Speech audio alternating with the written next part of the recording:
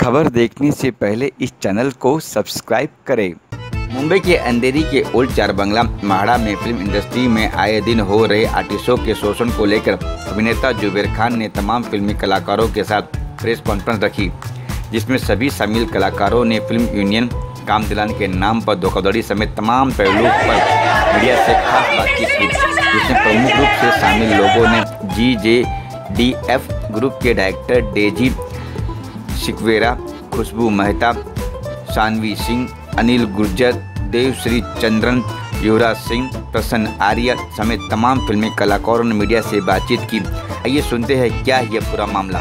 मैंने इसलिए बुलाया है कि इतने लड़के, बहुत सारे लड़के कितने कितने स्टेट से आए हुए हैं जो उनको काम नहीं मिलता और कितने कास्टिंग वाले बहुत कास्टिंग गिनती नहीं है कास्टिंग वाले। और मैं बता नहीं सकता कि शायद मुझे गिनती नहीं आती। और जो काम मिलना रहता है उसको यूनियन छीन लेता है और प्रोडक्शन वाले यूनियन को काम देती है फिर उसी में जुड़े बैठे जाते हैं उसी में कैरेक्टर उनको दे दिया जाता है। और जो इतने अच्छे अच्छे बहुत सारे एक्टर जो इंडस्ट्री में भरे हैं मैं बिलीव नहीं कर सकता। उनको सही से चांस दिया जाना हर एक्टर से अच्छा एक्टिंग कर सकते हैं।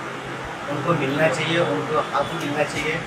तो बेचारे इतने परेशान हो जाते हैं कि आत्महत्या करने की कोशिश कर रहे हैं फ़िलहाल। यूनियन बनने का इतना तो ख्वाहिश नहीं है, मगर हाँ जिस दिन मुझे मौका मिल गया ना, उस दिन यूनियन में एक नया हर चीज़ में करके दिखूँ ऐसे बोलते हैं ना कि यूनियन आ जाती है जैसे मैंने अभी भेजा काम के लोगों को। तो यूनियन आगे कार्ड चेक करती है फिर यूनियन आके बोलते हैं, नहीं, मेरे लोग होंगे अच्छा उनके लोग जब आते हैं तो फिर उनके कार्ड कौन चेक करता है?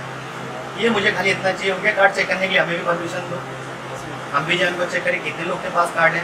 और हमने यहाँ तक देखा आर्टिस्ट के पास कार्ड नहीं रहे तो यूनियन को मार के गाली देती ये साथ मेरे साथ हो चुका है। और जो अच्छे प्रोडक्शन में अच्छे लोग थे ना प्रोडक्शन तो प्रोडक्शन में यही नहीं पता कि किसको काम दिया जा रहा है, किसको कास्टिंग दी जा रही है। उनके जो आजू बाजू रहते हैं, वो दे देते हैं। और वो काम पैसे दे के लड़की दे के ये करके काम मिलता है। और वो कास्टिंग दे के लड़के कहाँ से देंगे पैसे यार? कहाँ से लाएँगे लड़कियाँ? आइए इन्वेस्टिंग नहीं बिज़नेस चालू हो गया क्या? हम उनका इसलिए सपोर्ट करना चाहते हैं क्योंकि वो सही रास्ते पे और जो इंसान सही रास्ते पे है ना हम उसके साथ क्या बताएँ बताइए। रोज यही सुबह सोच के निकलते हैं कि काम मिल जाएगा लेकिन मिलता है।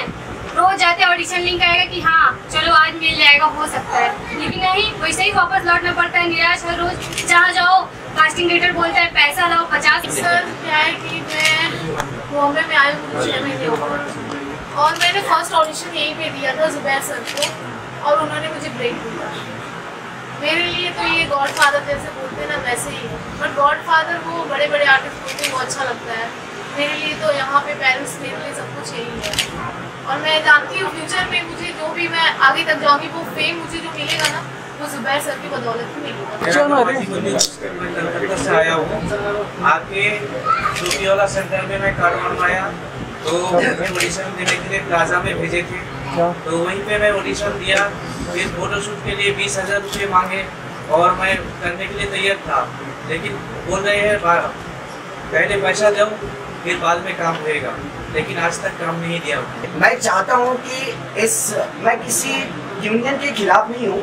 यूनियन होनी चाहिए और बहुत अच्छी बात है, क्योंकि जब तक डिसिप्लिन नहीं होगा, कोई काम नहीं होगा। तो यूनियन के खिलाफ मैं नहीं बोल रहा हूँ बट मैं ज़रूर चाहूँगा कि ये जो कास्टिंग का जो पद्धति है, जिसकी वजह से बहुत अच्छे अच्छे एक्टर जो एक्सपीरियंसड है एक्टर नौ नौ साल से यहाँ पे काम करके और थिएटर सीख के टेक्निक सीख के यहाँ पर आए हैं, अपनी रोजी रोटी कमाने के लिए, अपना घर, परिवार सब त्याग करके उसको कुछ काम मिले। वो घर बैठे बेचारे रह जाते हैं और आगे कौन निकलता है? आगे वो निकलता है जिसके पास पैसा है और एक्टिंग नहीं। चलती है ना कार्ड है पंद्रह सौ कहीं तीन हज़ार। मैं ऐसा चीज़ करना चाहता हूँ यहाँ तीन सौ रुपया दो सौ में कार्ड बनना चाहिए हमें सरकार उसकी परमिशन जो हर गरीब भी जब यूनियन बनाई है ना यूनियन बोलते हैं ना कार्ड चाहिए ना।